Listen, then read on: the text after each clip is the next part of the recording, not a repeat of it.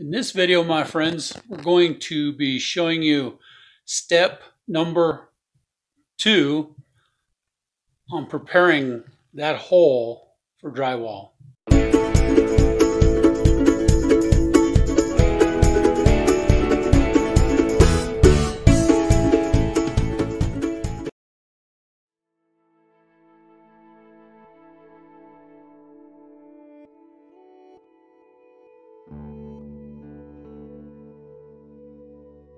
My friends, I'm not a part in this video that I want to show you uh, on preparing the outside edge. And as you can tell, I have this side scraped, this side scraped, and this side scraped. So basically what I do, my friends, I take the bottle and I uh, spray that on there and uh, I let it soak. And then I uh, come along and scrape it.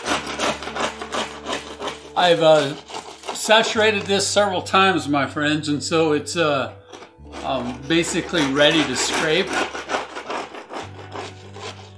And as you can tell, it's kind of making a mess. Back my ladder up just a little bit here. Okay, one of the things that I wanted to show you, my friends, is uh, you can tell uh,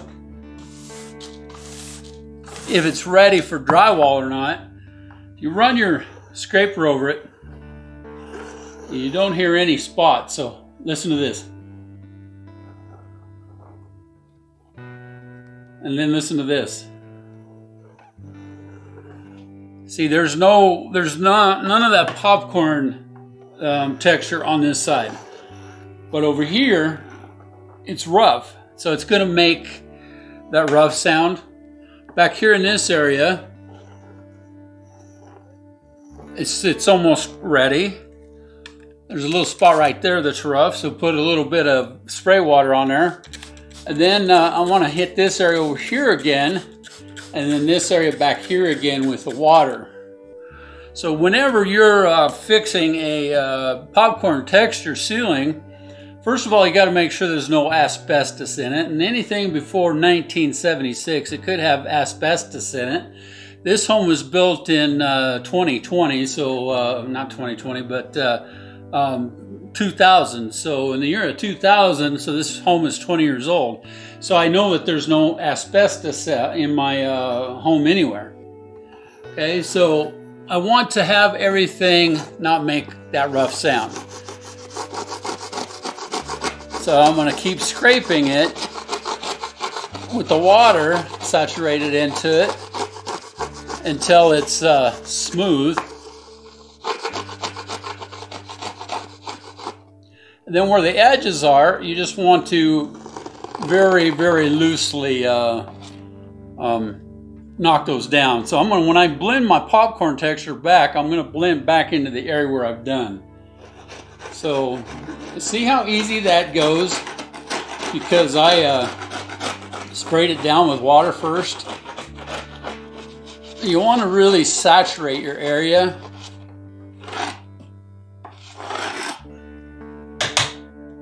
So I want to put some more water right here.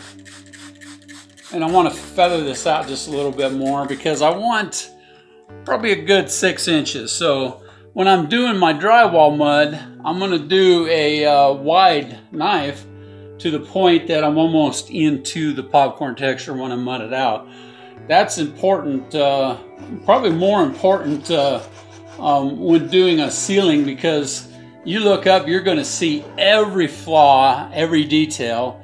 And that's why I'm doing steps on this video so you can see the steps. See now that area there is almost smooth. But this area over here, you can tell is rough. Hear the difference? From rough to thin, from rough to smooth. I want the smooth look because I got to pass over that with drywall mud and I don't want my drywall mud to pick up any of those divots in there.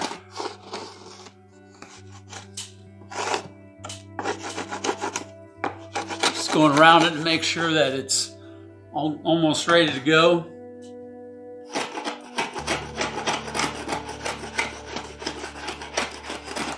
You don't want to saturate your ceiling too much where you're actually pulling off the paper of the drywall.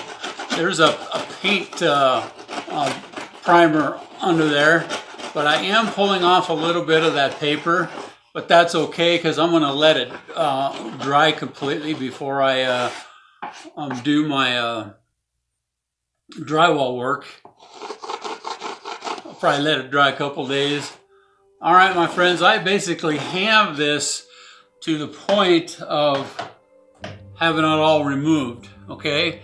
So now there's a couple of areas uh, on there that uh, um, I need to trim back. So in order to put drywall up in there, I need to have at least a three quarter inch uh, area all the way around here. So what I'm gonna do is I'm just gonna give it an eyeball to make sure that uh, I have that uh, three quarter inch gap. And if not, I'm gonna take and uh, use my uh, Dremel tool to do that. So let me uh, bring up the Dremel tool and I'm just gonna eyeball this because I've been doing this for many, many, many years. But if you're doing this yourself, you might want to put up a straight edge and, and straight edge your line. So uh, I'll be right back uh, with the Dremel tool and we're to prep this, get it ready for insulation and drywall, and then I got to get a different uh, uh, junction box for this. Like I said, we're to plug in our Christmas tree lights there. Well, my friends, uh, for the sake of the uh, the sheetrock dust falling on the camera um, lens and not wanting you to have to look through a cloud of dust. I've already cut three sides. I'm going to cut this uh, final side right here on camera, but I'm going to mute the sound from this point until I'm done because I don't want you to hear the loudness of the of the tool that I'm using. So um, enjoy listening to the music. I'll turn the music up a little loud while I get this out, and then I'll come back and talk to you again here in a minute.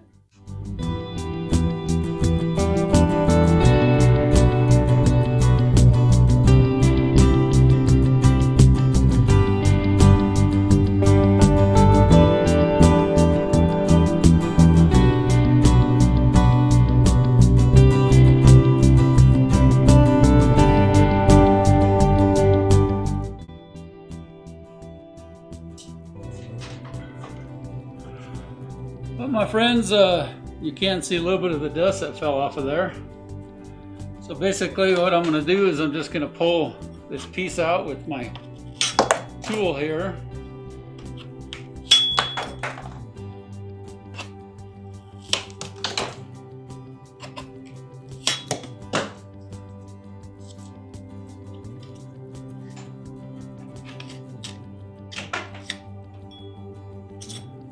Well, there it is, my friends.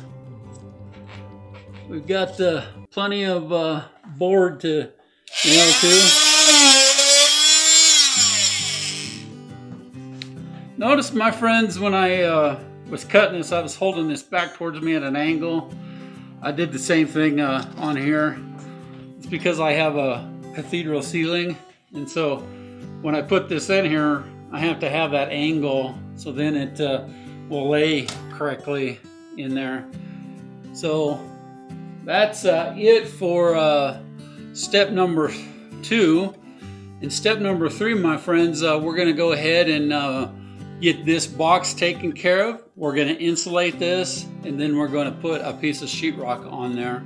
That's going to be in uh, step three. Coming right up.